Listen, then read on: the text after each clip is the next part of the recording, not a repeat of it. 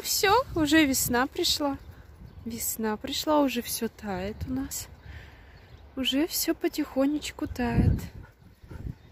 Вишка, радуется весне собака. Радуется моя собака. Уф. Вот она. Вот она что творит. Да? Сама с собой играешь? Ну что, всем привет! Сегодня я хотела бы затронуть такую важную тему, о которой нас очень часто спрашивают. Только по стоимости обходится содержание такой собаки, как хаски. Сейчас все подробненько по пунктам постараюсь разложить. Если что-то забуду, постараюсь снизу дописать. Начнем сразу с того, что самая затратная часть э, расходов наших – это корм. Э, сразу поясню, сделаю пометку, мы закупаемся в магазине Pitshop. Это интернет-магазин отличный, есть в каждом городе, по крайней мере, должен быть. У них есть хорошие условия, доставка, акции, постоянные бонусы. Это поскольку вишня у нас на сухом корме, то есть она у нас не на натуралке, мы ее сразу практически как взяли, перевели на сухой корм. Ест она у нас хороший корм холистик канадского производства Go. Также, когда ей надоедает, мы стараемся вкусы комбинировать, то есть нету какого-то конкретного вкуса, который она бы ела. Также иногда даем корм Summit. Summit немножко подешевле, но это один производитель. Также Канада. А, корм Go мы берем самую большую упаковку, 11 килограмм, 11 с половиной. Он стоит примерно в районе 4200, тот вкус, который она ест. Ей хватает этой упаковки корма ровно на 2 месяца. Также Summit, которым мы заменяем периодически, он побюджетнее, он три с половиной, если мне не изменяет память, скриншоты я буду вставлять сейчас по ходу. Он стоит 3 700, по-моему, 3 400, вот где-то в этом диапазоне.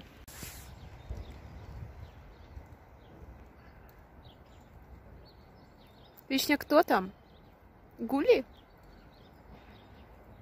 В эту же закупку раз в два месяца у нас входят всякие вкусняшки, лакомства. Мы покупаем ей большое копыто титбит говяжий, то есть там целая голень, нога. И она его грызет, то есть, соответственно, чистит зубки. То есть за состоянием зубов собаки я стараюсь тоже следить, чтобы у нас все было в порядке. Это, ну, в районе тысячи рублей тоже прибавляем к этому ко всему постоянная статья расходов у нас заканчивается. То есть вот самые большие такие титанические вложения это в корм. На втором месте по расходам у нас стоит амуниция для собаки. То есть периодически амуниция у нее изнашивается.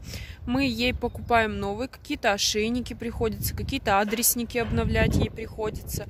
И также вот шлейки. Шлейки это у нас вообще больная тема. Сейчас покажу, в какой она бегает новая шлейчка у нее. Вот такого формата нам порекомендовал ветеринар шлейку для нее. То есть чтобы у нее была нагрузка на тело, нагрузка на суставы. Самое удобное. По поводу амуниции. Вот эта шлейка обошлась нам в полторы тысячи профессиональная. А вот эта рулетка, мы собаку водим на рулетке, это уже вторая наша рулетка. Она вышла около двух с половиной тысяч.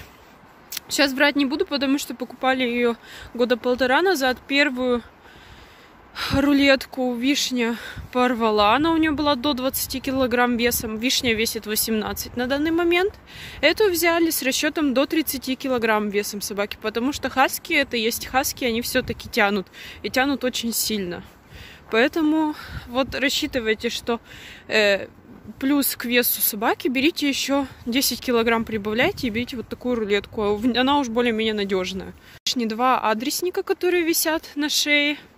Они стоят 500 рублей каждый. То есть мы их периодически меняем.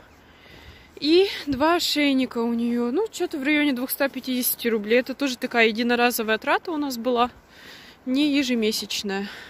Следующий пункт, э, как для меня, лично для хозяина хаски, это все-таки витамины, именно упор на суставы. Потому что хаски ездовая собака, у хаски большая нагрузка на суставы, и в старости для собаки это может очень плачевно сказаться.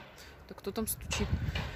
Для собаки это может очень плачевно сказаться, поэтому мы раз в квартал, то есть помимо того, что у нас в корме содержатся все необходимые витамины и микроэлементы, то есть мы за составом очень следим, и мы этот корм тщательно подбирали, советовали с нашим ветеринаром.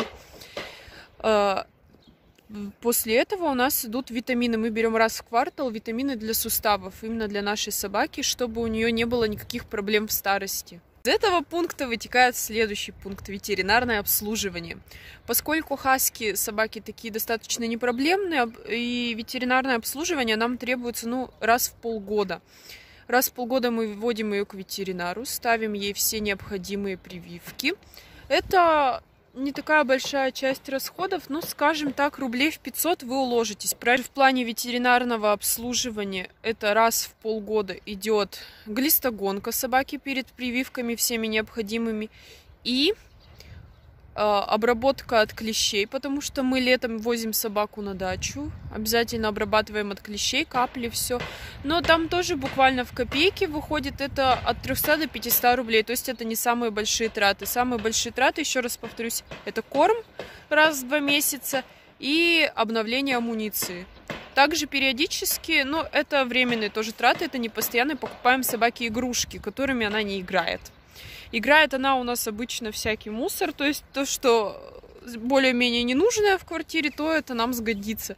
Вчера ела ананас, привозила из Таиланда, плодоножку сорвала, и вот эта плодоножка у нас весь вечер пользовалась успехом. То есть бесплатные игрушки у нас это в основном пустые бутылки мы гоняем по дому, или какие-то старые, вот что более-менее ненужное. То есть игрушки это у нас не такая большая статья расходов.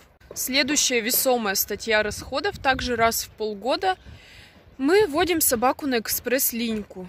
То есть это не обязательная процедура, но она очень облегчает жизнь хозяевам хасей именно. То есть поскольку хаски беспроблемная собака в плане ухода и содержания, в плане, в плане груминга. Собака не пахнет, не требует постоянного мытья. Периодически ее просто вычесываю фурминатором и все. Фурминатор это вещь, которая полезная для кошек и для собак, вообще для владельцев любых питомцев, у которых есть шерсть и подшерсток. Фурминатор платите две с половиной тысячи, да, дорого, да, больно, но за такую расческу платить. Но ты пришла, мы, солнце мое, ты со мной пришла посниматься?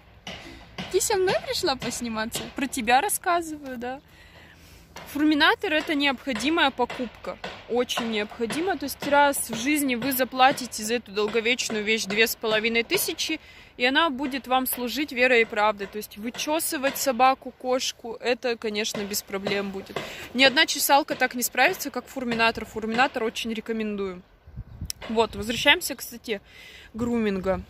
Собака беспроблемная, собака не пахнет псиной, собаку можно редко купать, то есть на шампуне мы тоже много денег не тратим, вводим раз в полгода к грумеру. Нам ее вычесывают, когда начинается линька. Это выходит нам в полторы тысячи рублей э, обслуживание грумера. В целом, опять же, хочу сказать, когда в вашем доме появится хаски, в 6 месяцев это обязательно дрессировка. Услуги дрессировщика, они тоже не из дешевых. Мы отдали за 5 занятий по-моему, если мне не изменяет память, около двух с половиной тысяч рублей или три тысячи рублей. Конечно, можно это все делать самостоятельно, заниматься с собакой по Ютубу, но я все-таки предпочитаю, я и сама занимаюсь, и отдать собаку в руки профессионалу, то есть сходить с ней вместе к профессионалу. Это тоже незаменимая часть расходов, но это из тех вариантов, когда вы один раз платите и потом уже как бы не знаете проблем. И самое важное, что хотела бы я сказать в этом видео, на самом деле вашей собаке не важно, сколько денег вы на нее тратите. Это исключительно все ваши заморочки. Вашей собаке главное, чтобы вы ее любили и о ней заботились. И она будет это чувствовать и неимоверно большую отдачу давать вам в ответ. Слушайте, такая красота, ну все, наверное, это последние деньки зимы, уже весна приближается, надо наслаждаться. Надо наслаждаться снегом, сугробами, вишню побольше гулять по снегу. Поэтому все, весна уже не за горами.